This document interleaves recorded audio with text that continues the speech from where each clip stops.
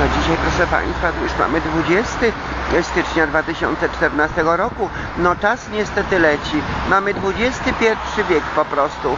Państwo zobaczą, jak tutaj dookoła, proszę Państwa, zmieniło się wszystko. Dookoła reduty, proszę Państwa, naprzeciwko Blue City. Już Blue City zdziadziało, nie ma co tam pokazywać. A tu wszędzie Państwo zobaczą, jak jest pięknie. Czyli, że co? XXI wiek.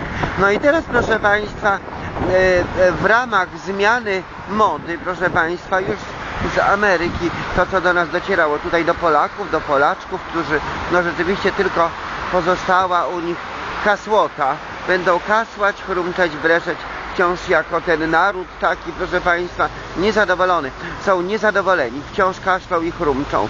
Ale proszę Państwa, poproszę zostać w domu, w domu, bo ta Litka spod Poznania, która tam właśnie pojechała, chyba najlepiej zrobiła, że teraz jest zima, jest sroga, proszę nie wychodzić z domu, nie wychodzić z Pieleszy, nie wyjeżdżać z domu, nie wychodzić z domu, nie wyjeżdżać z kraju, nie wyjeżdżać tutaj z Polski. I cudze chwalicie, swego nie znacie. Poznajcie lepiej swoją Polskę. No, żeby tę swoją Polskę papieską poznać, żeby papieża bardziej poznać, żeby nam przechodzić, żeby przyzwyczaić się do tego zapachu znów papieża i gromnicy mszalnej. Nawet na to Blue City Państwo się popatrzcie, zobaczcie jak jest ciemno. I dlatego też, proszę Państwa, ta Barbie z USA, z Angloameryki, Białystok, która tutaj szalała, to teraz już też nie jest Barbie modna.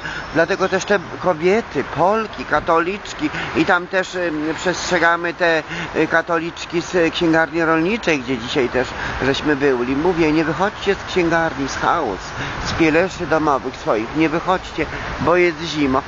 Zima, po prostu do, docencie swoją Polskę, swoje pielesze, swój naród, swój kraj, swojego papieża.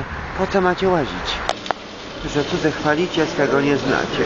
A te cyganki, proszę Państwa, które z Polkami razem naśladowały tę laleczkę Barbie, dziewczynkę o pięknych włosach blond, no to teraz, proszę Państwa, wcale ten blond nie jest modny. Teraz są szatynki, są różne takie czarnowłose dziewczyny.